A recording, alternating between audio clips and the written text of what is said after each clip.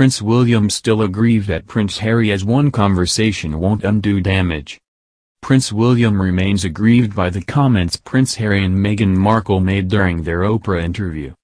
Prince William is likely still aggrieved by the comments Harry and Meghan made against the royal family, according to an expert.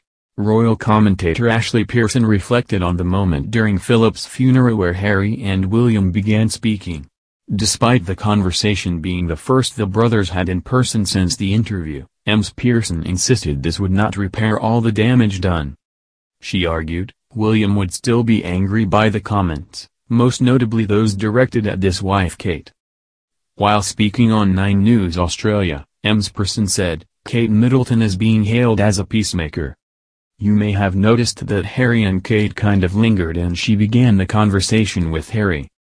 Then Prince William joined in and it was like the whole nation held its breath as William and Harry began to walk together up the hill in Windsor.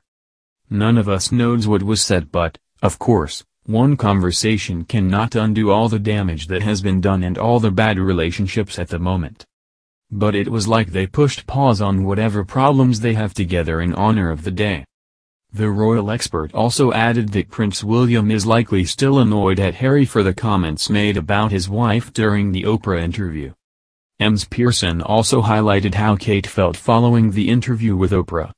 She said, Kate very astutely kind of held back, she ended up walking with Sophie Wessex instead of William, as she was going to be. This was so the brothers could have some time together. The thing William is said to be the most aggrieved about in the Oprah Winfrey interview were the comments Meghan made about Catherine. Kate was really the injured party and was said to be deeply hurt by the assertions on the part of Meghan.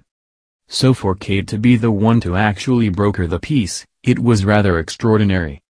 Ms. Pearson also noted that the brothers stayed until 6 p.m. with the Queen to comfort her with the rest of the family. Reports have indicated that Prince Harry is also expected to stay in the UK for the next week for the Queen's birthday.